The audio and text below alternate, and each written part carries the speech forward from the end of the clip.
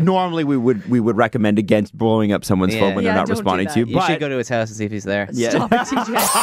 Ghosted is powered by Ghost Kitchens. Order from over 20 food brands and get everything in one delivery, like Quiznos and Cinnabon. Visit Uber Eats, Skip the Dishes, and DoorDash for a location near you. All right, let's introduce the world to Sonia. Sonia, world, world, Sonia. Nice to meet you. And Sonia, you met with a guy, uh, Jackson. You guys matched on Hinge in December. You couldn't meet up, but you did manage to date. So can you explain how you're doing it? every Saturday we do like a date night and we video chat on WhatsApp and we like watch a, a movie together or like just eat dinner and like talk and it's been really fun. I really enjoyed myself. Um, and he has as well. Like, I mean, at least that's what I was getting at. Um, but then all of a sudden last weekend he just stood me up and like at seven o'clock our usual time he just didn't call me and I've called him and texted him and he hasn't responded. And do you guys talk like throughout the week, or is it just kind of you meet up on Saturdays? Yeah, we we pretty much have been talking like nonstop ever since we matched, like every single day. And then we totally mm. hit it off. And then we came up with this idea that you know every Saturday we'll do that, and it's been really mm. fun. Sonia, you mentioned that you called and texted them afterwards. How many times did you do that? That's an important detail. Um, quite a bit, honestly. I, I don't know. I've lost count, but he Oh. he hasn't answered. Yeah, I've been blowing up his phone. I don't know. Oh boy. Maybe his phone's off. yeah, maybe. he's Okay. No, I mean I don't know. Maybe he's out of town. It is. It is. Like weird. Like it is It hard to get a battery replacement these days. all right, all right, all right, all right. So, okay, so normally we would we would recommend against blowing up someone's Yeah. phone when Yeah, they're not don't do responding that. to you. You but should go to his house and see if he's there. yeah. Stop it, TJ. Sonia, we're gonna give him a call next with you listening quietly on the phone, and we'll see how this goes. Okay. Okay. Hi there. We're looking for Jackson.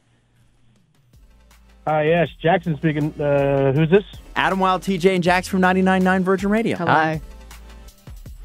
Oh, hey. Uh, how can I help you? Well, uh, we are wondering if you could give us a little information about a haunting, actually a ghosting.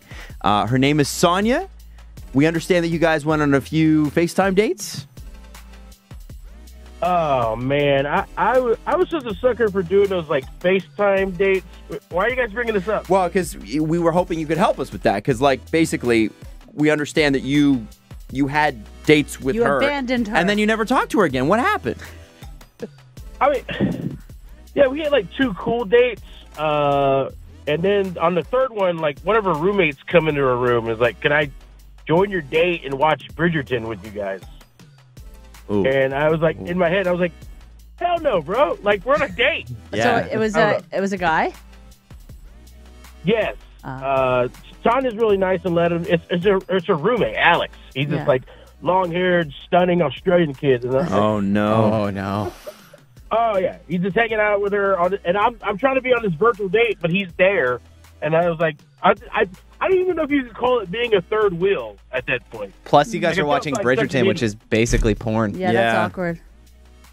Yeah. So when the next weekend rolled around, I'm like, I'm out. I can't compete. I can't compete with Alex. I have no chance.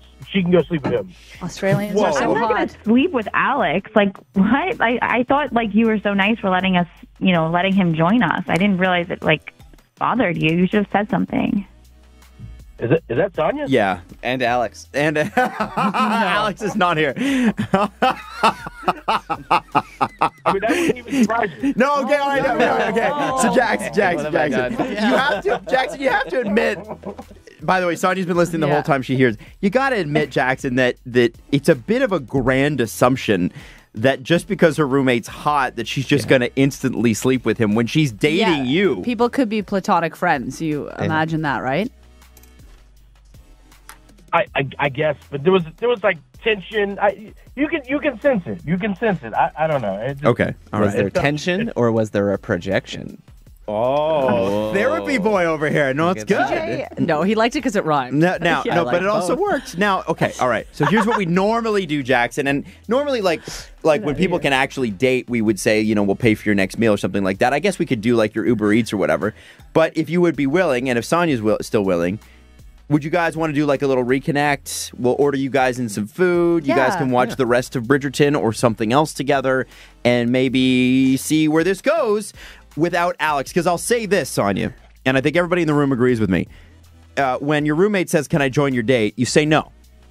Yes.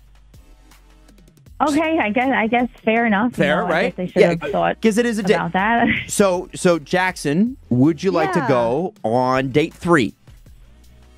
I mean, I- honestly, I, I feel like you guys should offer the date to Sonia and Alex because I feel like I'm talking to Okay. all right, all right. Petty. That was petty. And just like that, he lost the room. Yeah. Look at that. Jackson, we uh, we appreciate uh, your time this morning.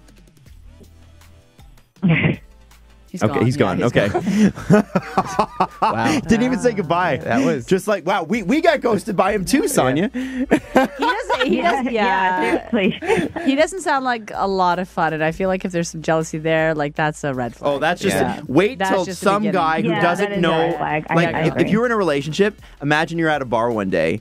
And and he's there, but some guy at the bar doesn't know you're in a relationship. Comes up, offers you a drink. Imagine that, that what you'd be dealing with, right? I'm mad because I feel threatened. Yeah, so like- so Yeah. It, you seem like a great person.